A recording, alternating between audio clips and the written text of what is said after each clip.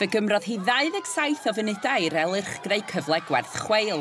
Gwaith da Stacey John Davis ar yr asgall, ond Chloe Chivers yn taro'r ergyd i'r entrychion.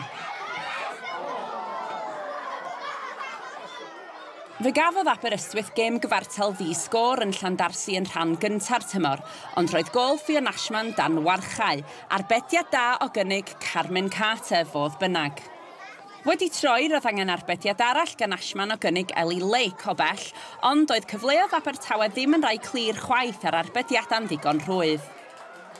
Tarodd Chivers a Traws o fewn 10 munud i'r ail gychwyn o gig gornel, ond yr elyrch yn rhwystredig.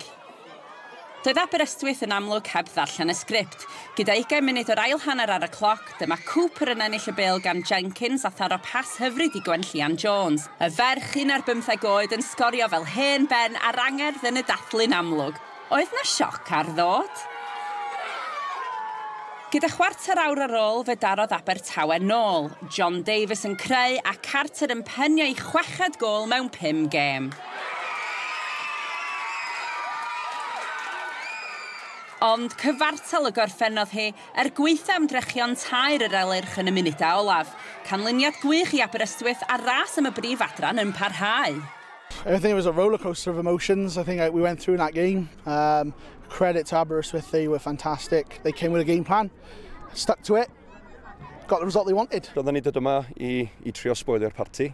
Uh, a ffordd nath gynnydd unwaith eto chwarae patrwm, Uh, oedden nhw'n gallu torri ni lawr ac yn, yn y diwedd, da ni'n un, un, un, i fyny ar ôl 80 munud a yn ffodus o'r okay, maen nhw wedi sgorio o blaw, da ni'n ni wrth y modd efo ef, fan. Obviously we're pleased to come away with something, um, especially going 1-0 down, I think we were starting to panic a little bit.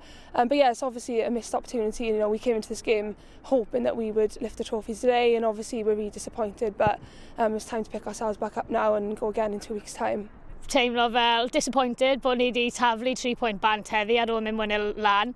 Um, a twod, gathon nhw lot o chances yn y, yn y, yn y hanner gynta a trwy'r ail hanner, ond y gol nath ni actually consider just bach yn sloppy really. So, ond well na dim. And it's still in your hands now leading into, into that away game at Cardiff Met. Will your preparations differ leading up to that game? We're going there to win. We're going there to win. I don't want to go there and get just the points we need or whatever. I'm going there to win. At the end of the day, we've been at top this league for so long. To possibly lose it last game of the season will be gut wrenching.